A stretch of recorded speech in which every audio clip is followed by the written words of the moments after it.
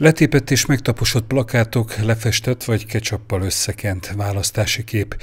Mindegyiken a Fidesz Baranya egyes egyéni választókerületének jelöltje. Sajnos a választási bizottsághoz és a rendőrséghez kellett fordulnom, amiatt, hogy a városban tucat szám rongálják meg a plakátjainkat, rángatják le, rajzolják össze, vagy éppen ragasztják át. Ez egyébként a választási törvény sértő magatartás, úgyhogy arra szeretnék kérni minden olyan polgárt, aki e, eddig ezzel a cselekménnyel élt, ezt ne tegye, sem az én, sem az ellenfeleim plakátjaival, hiszen ez törvénysértés, és adott esetben a rendőrség rongálás miatt el is járhat, ami bűncselekménynek minősül. A plakát elkészítése, kihelyezése pénzbe kerül.